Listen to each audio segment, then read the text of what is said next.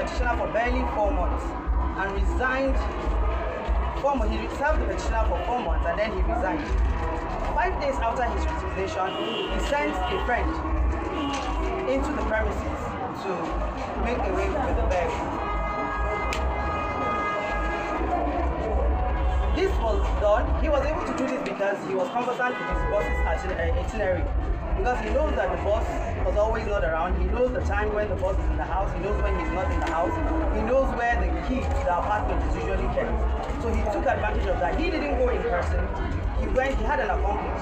He actually masterminded everything. He had an accomplice, sent the accomplice into the premises, to the estate, and communicated the security gate, which was the access code for him, for anybody living in the estate. The moment you have the contact number of the security in the premises, you can have access to the premises.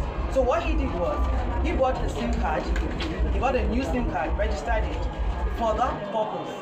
He went into the premises, he sent the his friend who claimed, who he claimed to be the driver, uh, mechanic, and he called the security man, claiming, impersonating his boss. He told the security man that he is Mr. Rotimi, that uh, the uh, mechanic is coming to take the vehicle for repair, which with that, with that phone call, he gave him access into the premises and then out of the premises. Having stolen the vehicle, he took it straight, they drove it straight to Abuja, which was where he was arrested.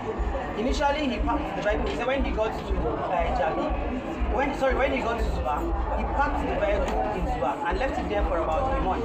Now, after he didn't know what to do with the vehicle. He now moved it to Jabi, and that was where